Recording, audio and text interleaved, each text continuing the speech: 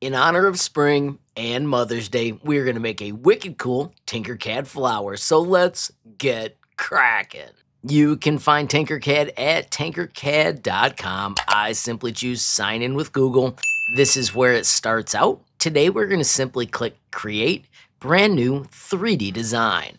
The first thing I like to do with a project is name it. I'm going to put this flower and I'm going to put 25 after it. To build in Tinkercad, we drag out parts, put them on the work plane, and then we can add more parts. Because of cruising, they stack on top each other. It's super simple, and it can also be a ton of fun. Today, we're going to use the brand new Sketch tool. Now, when I bring this out, I want you to see that it is a 20 by 20 part. So notice I'm setting it right at the center of a 20 by 20 grid. Not essential, but it makes it easier because everything lines up afterwards. Now we're going to make a flower petal using these sketch tools. There are lines and there are Bezier curves. We are going to use the line tool, and right here, 0, 0, I'm going to move over to, up to, and click to start creating my design. Notice it tells me the measurements as I build. This is super slick. So I'm going to go out 3 millimeters, and then I'm going to go up to the next centimeter and the centimeter after that. I don't care about the 18 number, I'm just explaining to you how it works. Then I'm going to go on this one and I'm going to go halfway up. You can be a little bit off on that, it doesn't matter. Connect this, and then I want this to match, but check it out. I don't have to be perfect this time. I can click and set it down. And then when I'm done with the shape, I can double click to get in it and I can adjust these points. So if I zoom in, here we've got one, two, three, four, five, and on this side we've got six. So I can just grab that and snap it where we want. I can also get rid of this one. This is the add remove points. You can also use the number four to get there. And when we click on it, it's gone. Now we do need to switch back. If you click again, it'll delete the other points. Of course, if you accidentally do get rid of that point, I'll show you real quick. There's my number four and my accidental deletion. I can do control Z to bring it back. Now I want this to look like a flower pet. So I'm going to switch back to the selection tool. And when we double click it, check it out, it gets round. It becomes round like a flower. I'm going to hit finish sketch and then I'm going to take this and make it thinner. And we want a duplicate exactly across from it. We're going to do that with Control D, Shift Nudge. And then we're going to use the sweet mirror tool to flip it just like this. I'm going to grab the entire project and I'm going to make it skinnier. I want it to be about a centimeter now. And then I'm going to take those two and do Control G to group them. Control D to duplicate. I'm going to rotate using the inside handle. So these are going to overlap. You can see that's 22 and a half degrees. When I let go, I'm not going to touch anything else with my mouse. And I'm just going to do Control D again and again and again to make a wicked cool flower. Now you can make this more colorful by clicking on them and picking the colors you want for each petal. It's also going to show you something called Z fighting where it'll actually flicker when we're done. You can choose custom colors. I like to get some sort of blue. Now as I zoom in, then when we right click and orbit with the mouse, you get the awesome Z fighting where the parts connect. How cool is that? I'm going to move this one to the side. So I'm just grabbing it. I'm going to move it away. And let's do one more. Once again, bringing it out. I'm setting it on the 20 by 20 grid. And this time, we're going to do the same technique, but we're going to make a gap in the middle. So I'm going to click one millimeter away and then two millimeters away. I'm going to make this one thinner right from the get-go. And I'm just picking fun numbers this time. I'm not being precise. But I'm doing the same on each side. Don't forget when we're finished, we can double check it. And this one I'm coming back up through after I'm done. So this petal will be thinner. Notice I missed that one. Once again, no big deal. We can go back and double click and we can edit to get these so they line up exactly the way we wanted. All right, so now I've got that so they look the same or the same-ish on both sides. And I'm to leave this one with the straight lines, but I do want to make the top ones round. So double click on the lines and bingo, it curves them. You can do it as little or as much as you want. I'm to hit Finish Sketch. I'm to, of course, look at it from an angle. You can do that easily with the View Cube or right-click your mouse. I'm to pick a fun color. And let's repeat that trick one more time. I'll move it down so they don't collide with each other. Once again, it's Control D, Shift Nudge, and Flip so that it's aimed the other way. Pick the gap that you want. I'm going to make a bigger gap this time. I'm not going to group them this time. I'm just going to do Control D and rotate. I'm going to pick a number that goes into 360 degrees. Notice 20 does that. And then I'm going to do Control D again and again and again. And just like that, another fantastic flower. Of course, if you want to make them look like flowers, we can stand them up like that. I'm going to grab the entire flower and do Control G, so that way it stays together.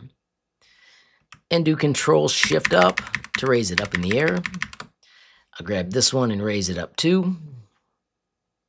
Once again, look at it from an angle. And when we rotate, if we come out all the way, it's one degree at a time. If you stay inside, it's 22 and a half degrees at a time.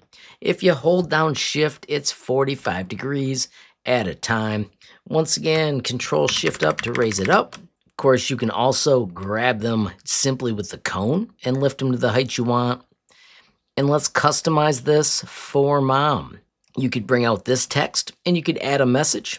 You can also click up here and if you type script, there is an awesome script font that you can bring out as well. Once you've got the font out here, there are other options you can play with. I've also got a tutorial where you can add your own fonts. I'll put that up above. I'm going to change the words to say, I love you. Of course, pick a cooler color, rotate it so it's aimed the way I want. Let's do D for drop. I'll do Control D. And I'm going to make one that says Happy Mother's Day. I'll raise that up either with the cone or Control Shift up. And I want that one to be looking straight. And let's quickly make a stem. Once again, I'm going to go back to the sweet new sketch tool. I'm going to drop that as close as I can to the 20 by 20 since I'm a long ways away. And I'm going to back out and we're going to draw our stem once again using sketch. This time I'm going to hit Bezier curves. I'm going to make it two millimeters wide and I'm going to click. And because I've got that curve, I can click, hold, and bend so that the stem's got a twist. That time I just clicked and left it. I'm going to click and leave it.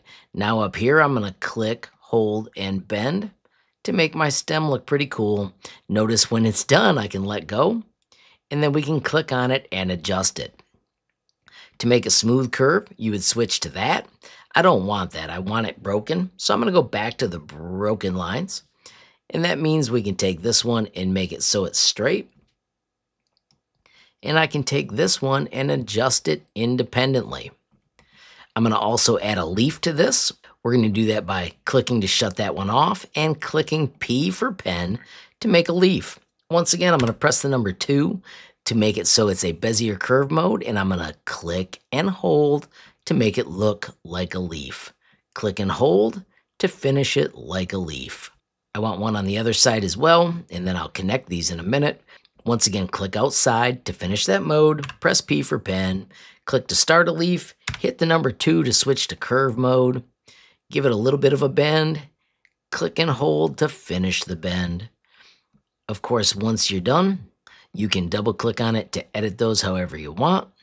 Notice this has the connected mode, I probably want to switch it to the broken mode, which is the number three, so I can make that look like the leaf I want. Once complete, you can drag it into place until you are 100% happy with what you created. I'm going to switch this one back to the number three, so that way I can give it that custom shape that I want. Let's hit finish sketch. Of course, I want to make those green and skinny. There's the skinny part, and there's the green part. Let's click on it and stand it up. Don't forget that sweet shift rotate to do 90 degrees in an instant. D to drop. And let's move them into place. Flower one. And control D, flower two. Here's a quick hack for lining them up. If you switch to flat view and switch to the top mode, you can easily pick those two and choose L for align and align them just like that.